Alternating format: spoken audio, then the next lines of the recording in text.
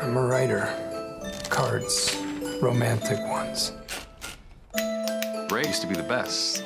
The Bill Shakespeare romance cards.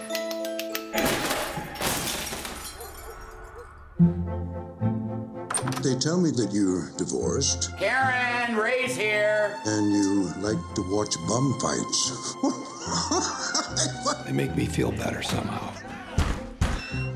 Rhett, I cut a tendon. and you can't write with the other fingers? I hate optimistic people. They bum me out with their upbeat attitude. Are you real?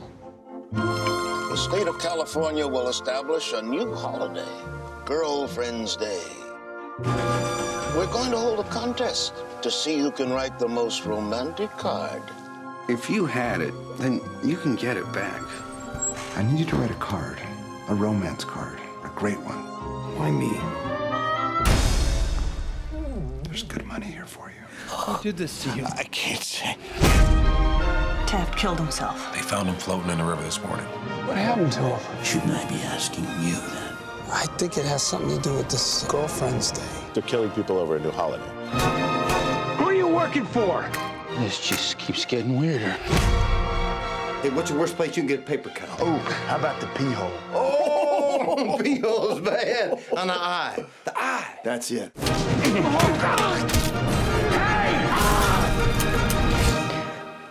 write me a card and tell me all about it?